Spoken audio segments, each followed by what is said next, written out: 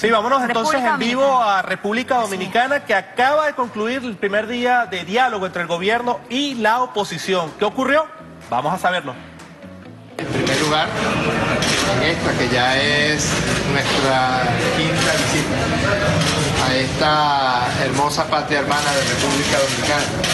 Hemos venido en cinco oportunidades desde mediados del año 2016 en estos esfuerzos denodados que ha tenido nuestro presidente Nicolás Maduro para promover un diálogo de paz en Venezuela. Un diálogo para la convivencia pacífica.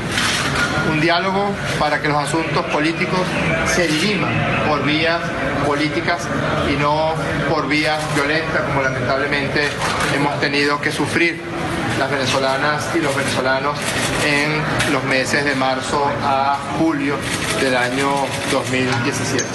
Una buena noticia para el mundo entero es que la patria venezolana se encuentra en completa paz en estos momentos.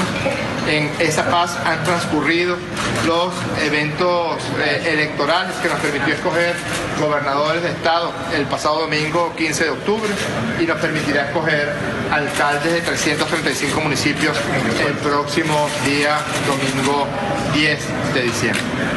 En esta visita, además de agradecer al presidente Danilo Medina y agradecerle la hospitalidad siempre al pueblo de República Dominicana. Saludamos la presencia de los cancilleres acompañantes que estarán con nosotros en este proceso de diálogo con la MUD, que es una fracción de la oposición venezolana que acude al diálogo el día de hoy.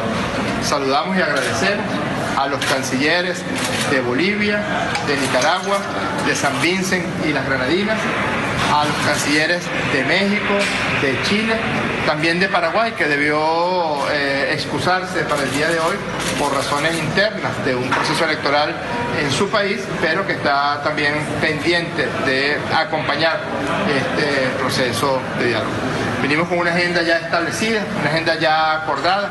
Nosotros traemos un punto fundamental, que es la protección del pueblo de Venezuela, la protección económica del pueblo de Venezuela. El gobierno del presidente eh, Nicolás Maduro ha hecho ya procedido a la protección de todo el pueblo a través de la adquisición de alimentos, del mantenimiento de las misiones sociales en educación, en salud, en vivienda.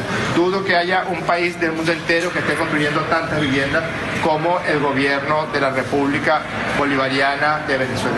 Esos esfuerzos están siendo atacados, están siendo salvajemente agredidos por sanciones y bloqueos financieros y económicos que no son otra cosa que groseras intenciones de inmiscuirse en los asuntos de Venezuela.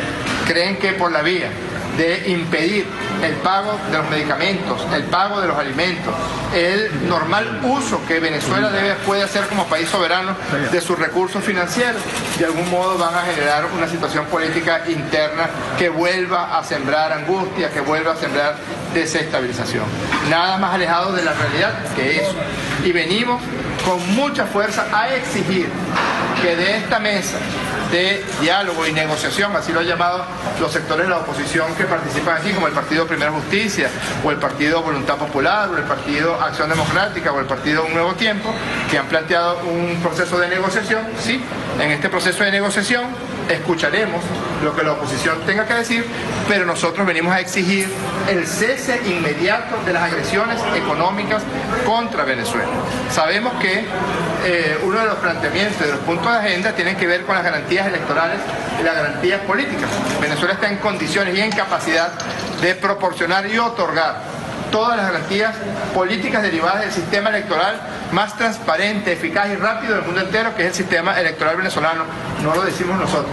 Certificado por la Unión Europea, certificado por el Centro Carter y especialmente por la persona del presidente Jimmy Carter, que fue observador de elecciones en Venezuela. Estamos en condiciones de garantizar todos los procesos electorales políticos como lo hemos hecho en el año 2015, 2017 y haremos en el año 2018 para la elección presidencial.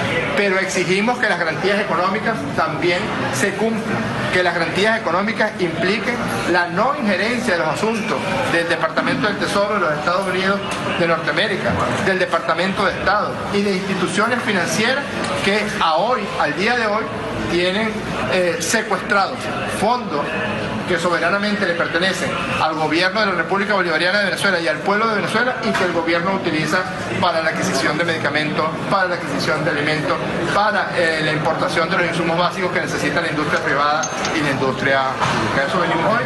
Esperamos que de estos dos días salgan fructíferas conclusiones que podamos anunciar al mundo entero. Gracias.